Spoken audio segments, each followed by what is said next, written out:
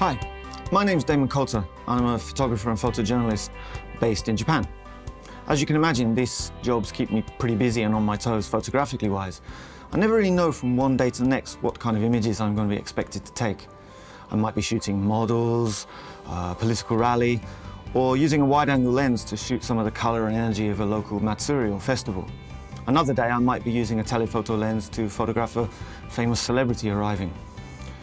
Because of the variety of images that I use, it's very important to me that the, the lenses that I use working at the best of their ability. Tools that I found incredibly useful to make sure that this happens, the Sigma USB dock and the unique software that comes with it, which is the Sigma Optimization Pro. For this tutorial, I'd like to show you how to use these tools. For this, you're going to need a computer, of course, and the Sigma USB dock, and the Sigma Optimization Pro software that comes with it. The software is able to be downloaded from the Sigma website free of charge, and it comes in both Mac and Windows formats. It also comes in a variety of different languages, so you should be able to find a system that works best for you. I'm going to take you through this step by step.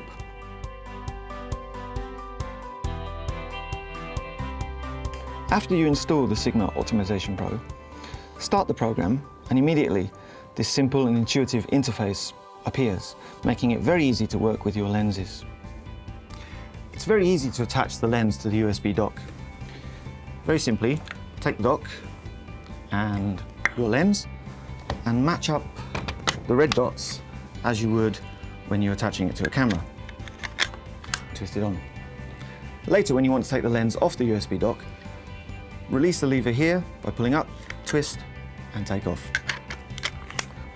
Once your lens is attached to the USB dock, attach the USB dock to your computer with the USB cable. The information for the lens will appear in the main window. This is the History of Connected Lenses window.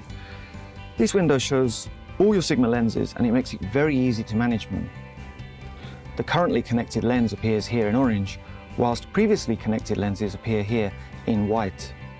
When your lens is connected to the USB dock, the connection LED in the center lights up and you can tell the connection is secure and everything is working fine. One important thing to remember when using the Sigma USB dock is that you mustn't take the lens out of the USB dock when you're updating the software or making any adjustments. To do this might actually damage the lens.